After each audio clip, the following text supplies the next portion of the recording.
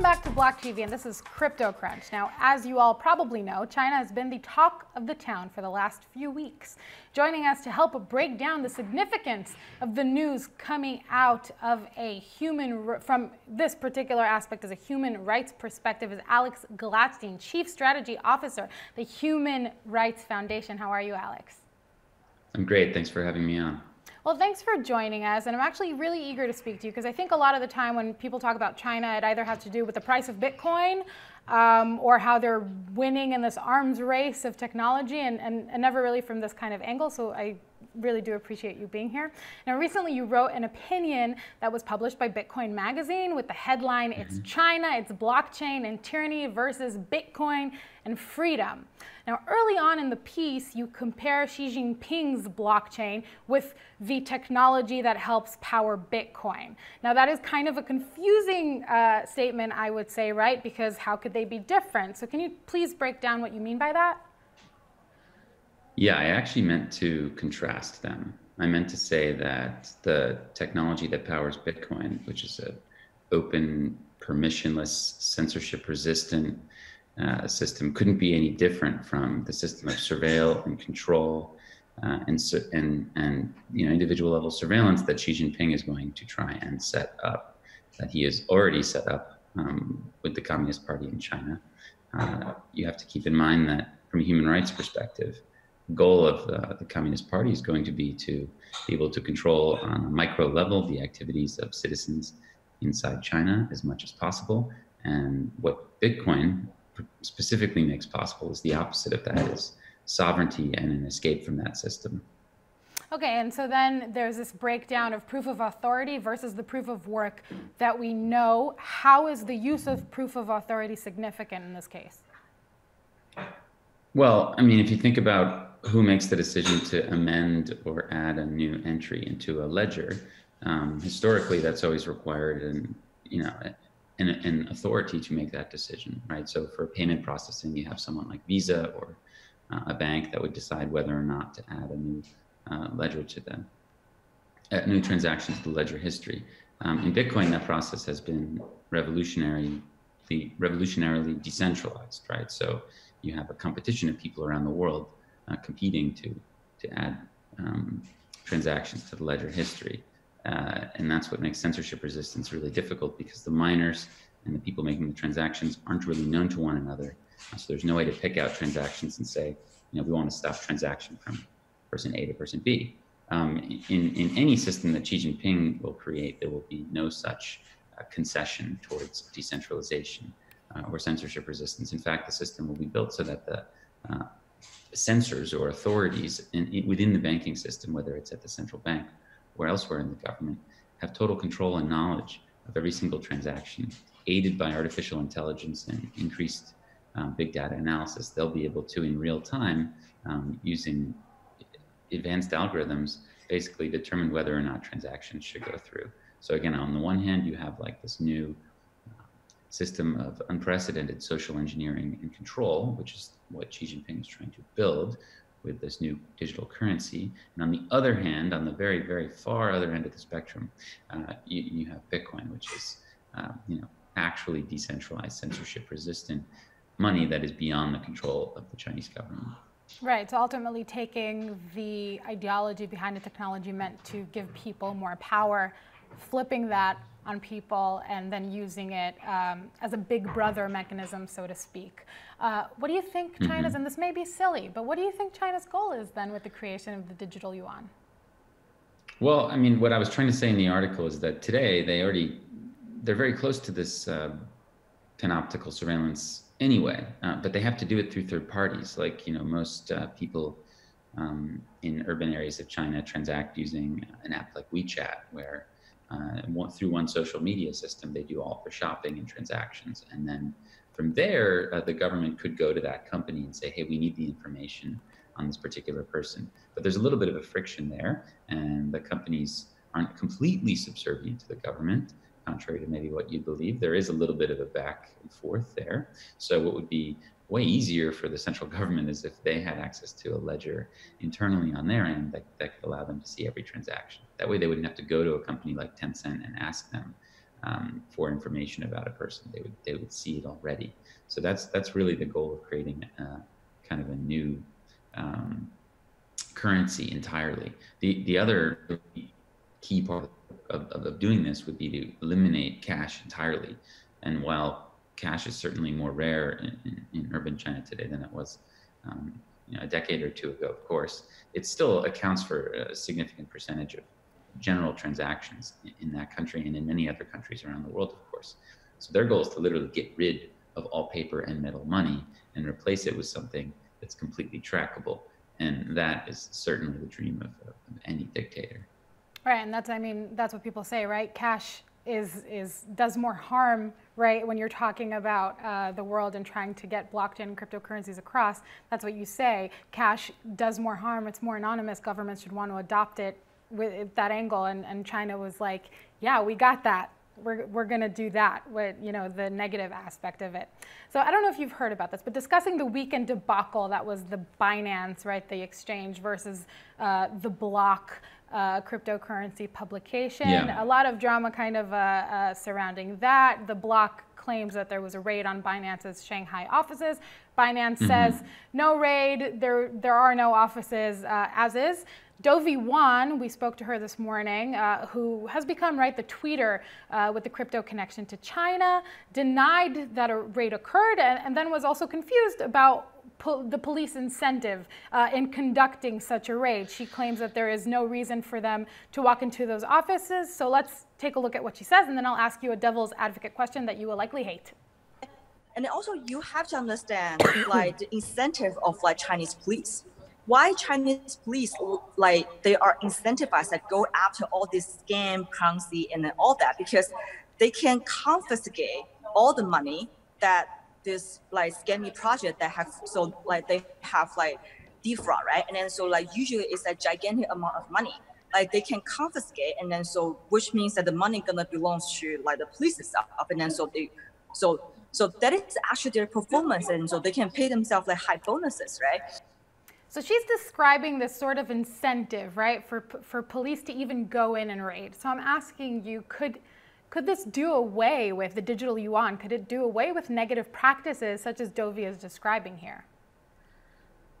Um, I think, look, the, the, the big picture with regard to this uh, little controversy is the, is, is, is the following. Um, the Chinese government wants blockchain. They don't want Bitcoin or even any other other cryptocurrencies. The reason why you're going to see a crackdown, and you've seen a crackdown over the last few years on cryptocurrencies and specifically on Bitcoin, is because the Chinese government can't control Bitcoin. Um, sure, they can use it just like anyone else, but they don't have special privilege over it, which makes them not uh, a fan, right? It makes them against it. Um, however, they do want to create something that they do control, that they do have special privilege over, and they can use this buzzword called blockchain to put lipstick on this panoptical pig and create this new currency and pitch everybody to it as something that's more safe and more stable and more secure. And that's what they're going to do. But at the end of the day they'll have a backdoor into your wallet. So with their new quote unquote blockchain system um, they'll be able to control your money.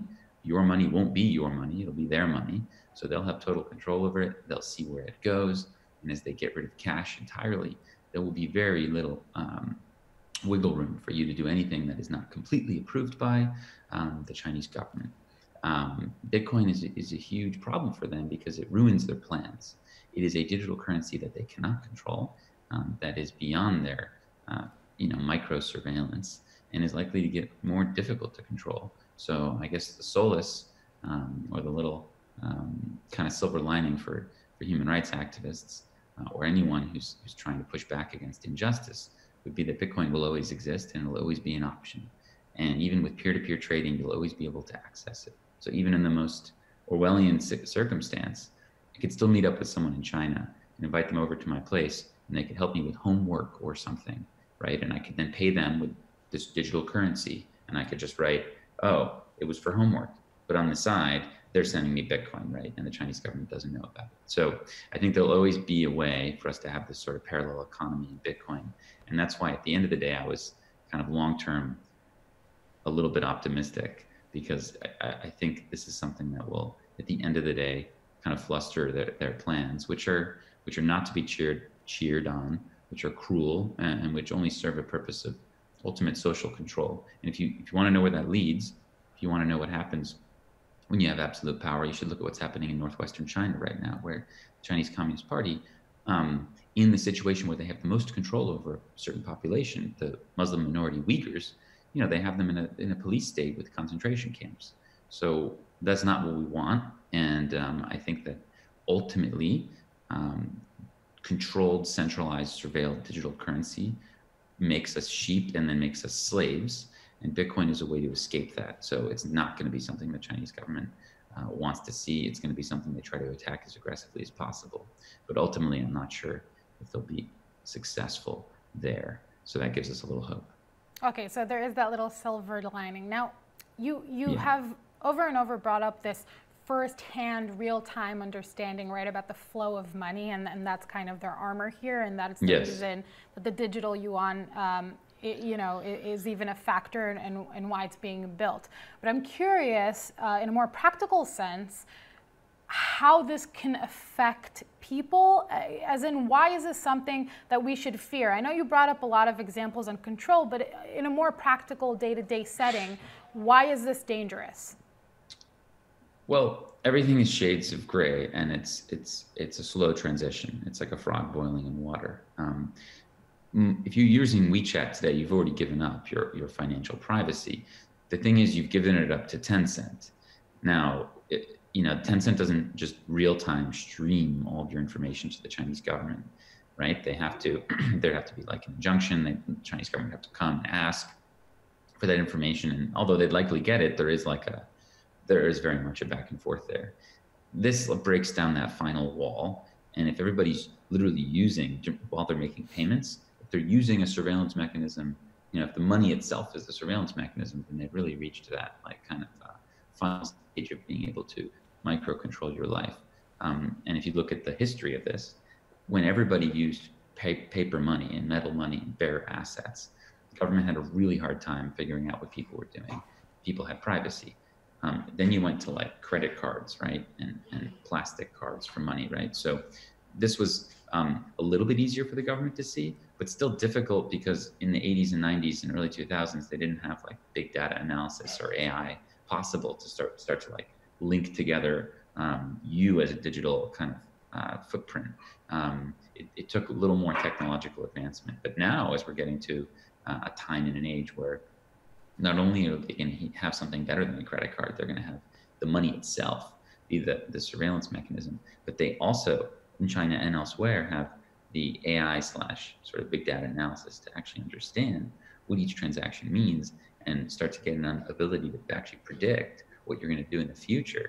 Um, this is where it gets like very terrifying, and this is where you actually start to see um, kind of a lot of this like uh, Orwellian 1984 um, dystopia start to actually play out. So um, cash is is an effective bulwark against this kind of surveillance, and eventually, when cash disappears, Bitcoin will be um, the bulwark. And you're, you're kind of seeing this today in Hong Kong. I would say there are some human rights groups and journalist groups who, who are having their bank accounts shut down. And they're having their financial activity monitored. So some of them are starting to switch to receiving donations in Bitcoin, and it allows them again to like escape from that system, escape from that system of control. And there's very little the authorities can do about it. So to me, it's like a very effective uh, safeguard against authoritarianism. Okay, and, and this is this may not have an answer, but what can you know? That's a hefty sum. All of what you just said. What can yeah. we do, if anything at all, or what responsibility, again, if at all, do we have as a society, as a global, as this global society, to stop the harm that this can inflict? Yeah, well, I, I think that um, it's all about education.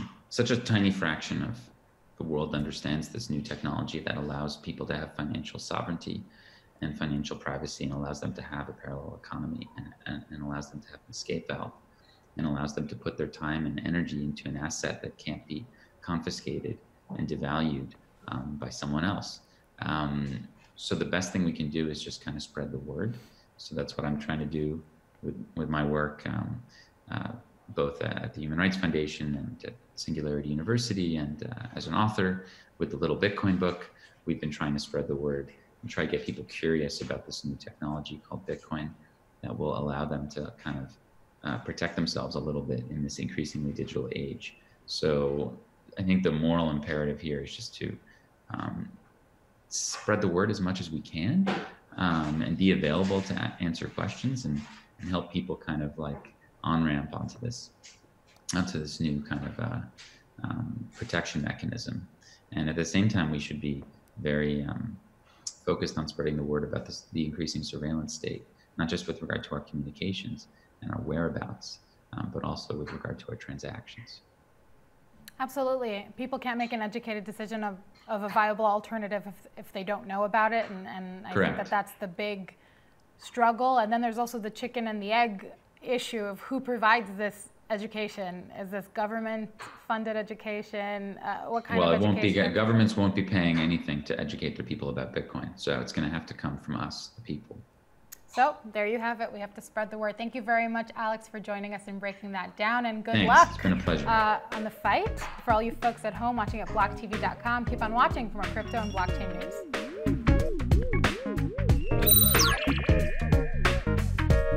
More news and updates, follow us on Twitter.